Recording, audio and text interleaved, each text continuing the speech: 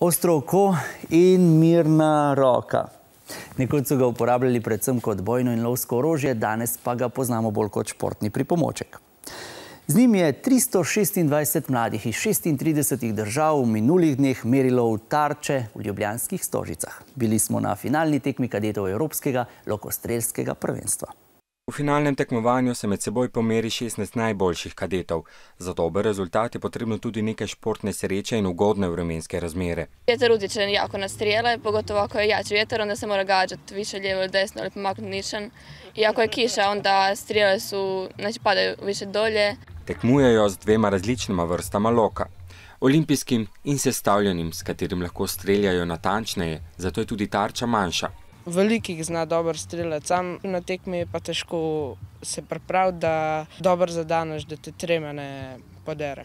Lokostrelci v enem setu z razdalje 50 metrov izstrelijo 15 puščic.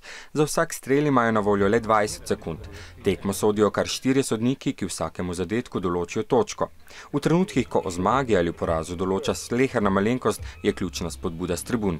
We just talk and try and keep the, the comedy there, don't take anything too seriously, and it normally keeps us quite calm. My team is very supportive, especially my coach and my brother. They know what to tell me before I shoot and they know how to calm me down or get me back in line and stuff.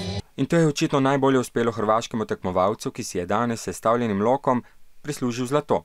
Pa danas je banket, pa ću, malo ću slaviti s prijateljima. Idemo na gokart, pa to je zapravo to.